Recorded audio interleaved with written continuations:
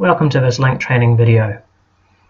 Have you ever had a problem setting up your ECU or tuning and you just can't work out what's going on? The good news is that Link has a technical support team available to help you. However, in order for the technical support team to help you, they're going to need some information about your problem and in this video we're going to talk about the best way to send them the information that they need. With most problems, three things are going to be needed. First, a good description of the problem. Second, a copy of the base map as it currently is. And third, a PC log of the problem happening. Firstly, let's talk about how to save your base map. First of all, you're going to want to be online with your ECU and PC link. And then you're going to click File, Save As, enter a name for your base map, and click Save. The next thing the tech support team are going to want is a PC log of the problem occurring. First of all, we need to go into the logging setup, click logging, setup logging,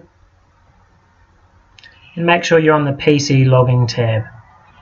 The next thing we want to do is click the add all button and then click OK.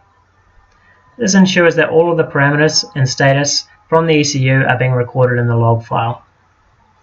The next thing we want to do is start recording the log file. To do this, click logging and press the record. Alternatively, you can press the F8 key to start and stop logging also. Now that PC Link is recording the log file, we're going to want to make the problem occur in the log. Let's make it happen. In this particular situation, the AC request is coming in, but the AC clutch is not coming on. Now that we have the problem recorded, we want to stop recording the log file. To do this, click Logging, Stop.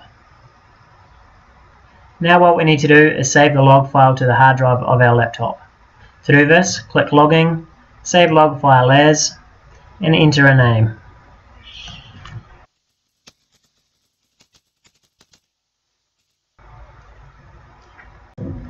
Now that we have the base map saved and a PC log of the problem recorded, we need to send these files by email to the tech support team at Link.